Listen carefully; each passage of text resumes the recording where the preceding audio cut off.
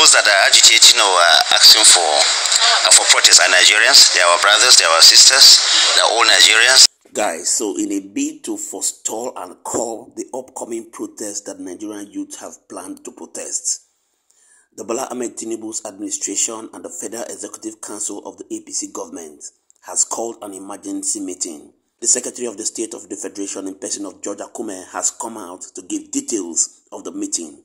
Normal meetings that uh, we, we, we do from time to time. Uh, you know that we didn't hold a Federal Executive Council meeting this week, and uh, we thought that it is good that we all come together to uh, discuss. Um, I mean, you can see that this is not happening at the council chambers, it's happening at the office of the SGF. Uh, many of the ministers are here.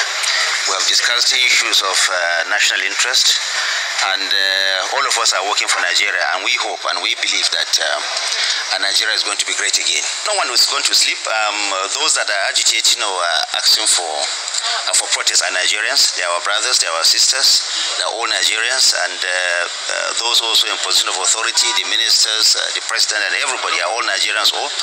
so this is a family matter. This is a Nigerian family issue, and um, all of us are looking at this issue very well, and we hope that uh, peace will prevail at the end of the day. Engagement has always been an ongoing thing. This is not a peculiar uh, situation.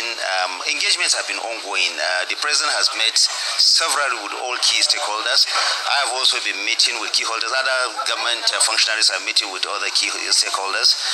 engagement is going to continue in the interest of Nigeria. We'll continue to engage. Uh, we know uh, this is a country that all of us have.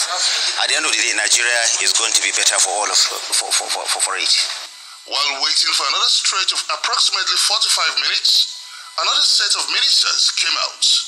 As we quickly approached the youth minister, who also appealed to the youth to maintain calm and restraint while reiterating the federal government's commitment to the 110 billion naira youth intervention plan to support youth navigating turbulent business times. I would um, just sincerely and genuinely advise my fellow young Nigerians to dissociate themselves from the disassociate themselves from the planned protest because it's uh, it's not uh, it's it's it's really not a good um, uh, act for the nation. We must all stand in solidarity with the nation.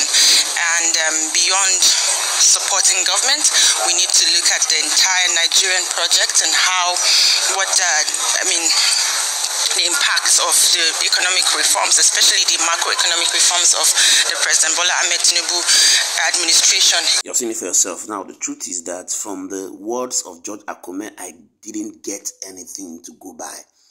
Let's take a look at some of the demands of the protesters who are intending to hit the road on August 1st. First of them is that they have demanded that fuel price should be reduced to 100 naira per liter.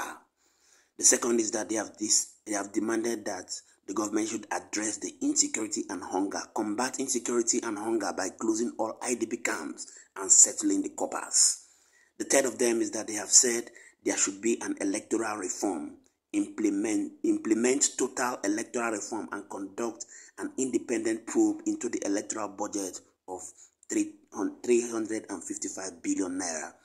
Fourth, release EndSARS detainees. Immediately release all EndSARS protesters still in detention. Five, living wage. Implement a living wage with minimum wage of 300,000 naira. Number six, free education. Compulsory free education for primary and secondary schools and an education grant in the tertiary level.